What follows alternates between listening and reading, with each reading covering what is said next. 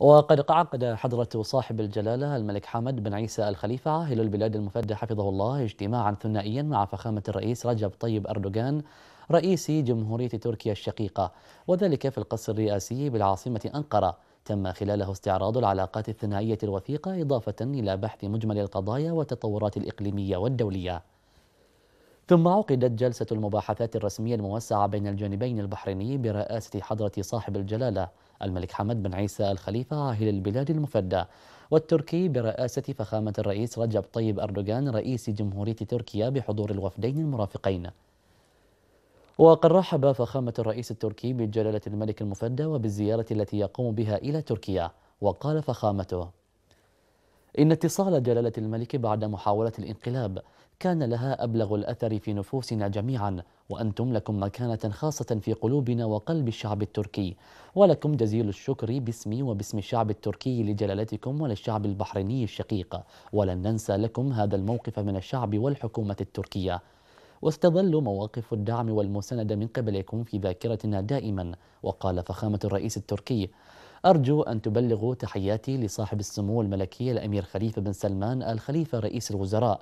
هذه الشخصية المعروفة بحنكتها السياسية في المنطقة وقال فخامته أود بهذه المناسبة أن أشيد بالعلاقات المتميزة بين البلدين والشعبين الشقيقين.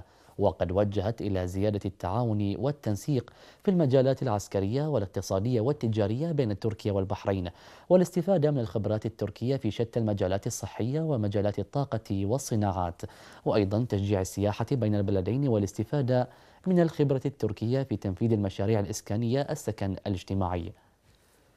ودعا فخامة الرئيس رجب طيب أردوغان إلى اجتماع اللجنة الاقتصادية المشتركة بين البلدين خلال الربع الأخير من هذا العام في جمهورية تركيا من أجل بحث زيادة التعاون والتبادل الاقتصادي والتجاري الذي سيكون هو هدفنا القادم.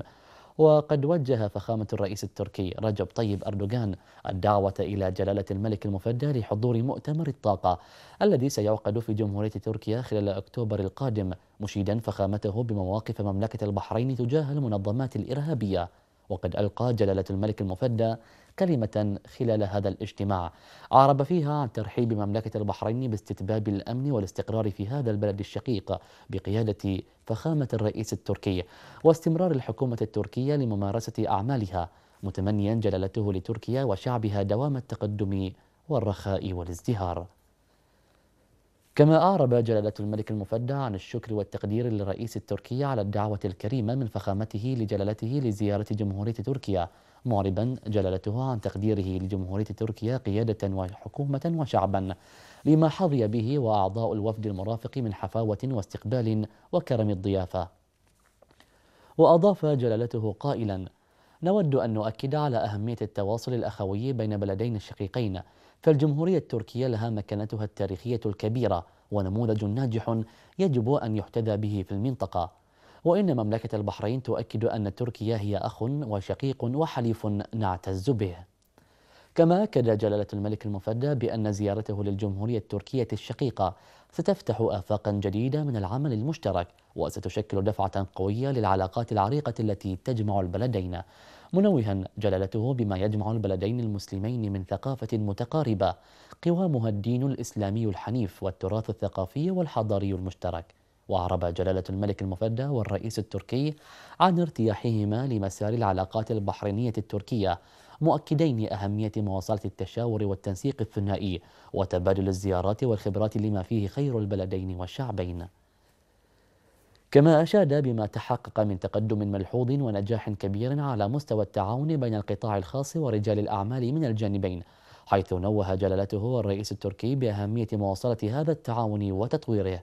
خاصة في ظل ما تقدمه المملكة من مزايا للمستثمرين وما توفره من بيئة مناسبة لإقامة مختلف المشاريع. وبما تمتلكه تركيا من خبرات واسعة في مجال الصناعة والتجارة والاقتصاد. مشيدا جلالته بالإنجازات الاقتصادية والتنموية البارزة التي حققتها تركيا بفضل قيادة الرئيس التركي والتي أهلتها لكي تتبوأ المكانة المتميزة في محيطها الإقليمي والعالمي. كما أعرب صاحب الجلالة حفظه الله عن تقديره لجهود الجالية التركية في مملكة البحرين وإسهاماتها المتواصلة في دعم مسيرة التنمية الشاملة في المملكة على كافة مستويات التطور والبناء والتقدم كما جرى خلال الجلسة المباحثات بحث الأوضاع الراهنة في المنطقة وتبادل وجهات النظر حيال تطورات ومستجدات الأحداث السياسية وذلك على الساحتين الإقليمية والدولية ومواقف البلدين تجاههما. حيث أكد الجانبان أهمية التشاور والتنسيق في القضايا ذات الاهتمام المشترك على الصعيدين الإقليمي والدولي وبما يعزز من دور البلدين في خدمة القضايا والمصالح العربية والإسلامية. كما أكد دعمهما لكل الجهود الإقليمية والدولية لمكافحة الإرهاب والتطرف وترسيخ الأمن والاستقرار في المنطقة. لما فيه خير ورخاء دولها ومصلحة شعوبها. وأشاد الملك المفدى في هذا الجانب بالدور المحوري الذي تلعبه جمهورية تركيا في دعم القضايا العربية والإسلامية ومساهمتها الإيجابية مع المجتمع الدولي في تعزيز الأمن والاستقرار في المنطقة وخدمة قضايا السلام العالمي.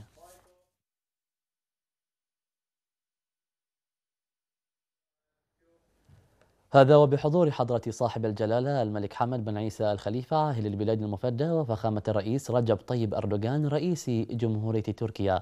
تم التوقيع على عدد من الاتفاقيات ومذكرات التفاهم بين البلدين وهي أولا مذكرة تفاهم للتعاون في مجال الشباب والرياضة بين حكومة مملكة البحرين وحكومة الجمهورية التركية حيث وقعها من الجانب البحريني. سمو الشيخ ناصر بن حمد الخليفة ممثل جلالة الملك للأعمال الخيرية وشؤون الشباب رئيس المجلس الأعلى للشباب والرياضة. بينما وقعها من الجانب التركي معالي السيد تشاغاتاي كيليتش وزير الرياضة والشباب. ثانيا اتفاقية التعاون القانوني في المسائل المدنية والتجارية والجنائية بين حكومة مملكة البحرين وحكومة الجمهورية التركية. حيث وقعها من الجانب البحريني. معالي الشيخ خالد بن أحمد بن محمد الخليفة وزير الخارجية. بينما وقعها من الجانب التركي معالي السيد بكر بوزداغ وزير العدل.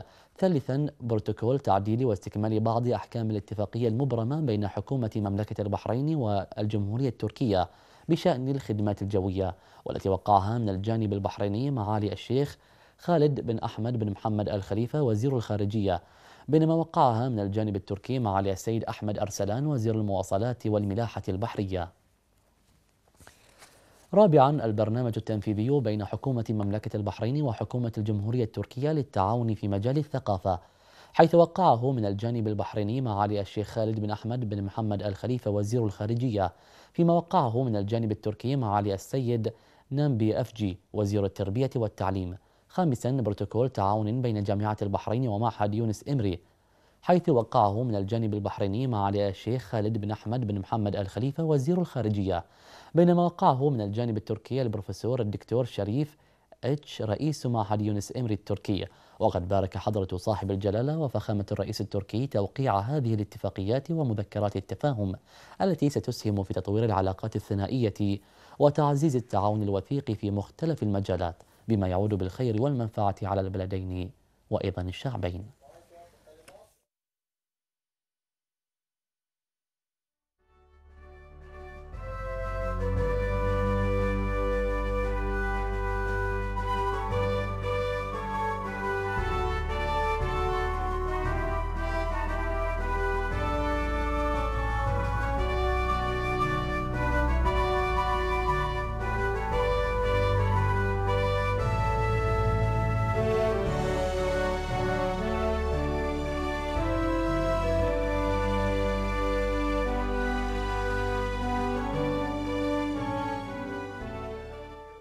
هذا وحضر حضرة صاحب الجلالة الملك حمد بن عيسى الخليفة عاهل البلاد المفدى حفظه الله مساء اليوم.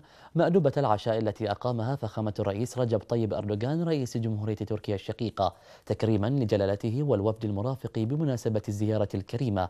وذلك في القصر الرئاسي بالعاصمة أنقرة.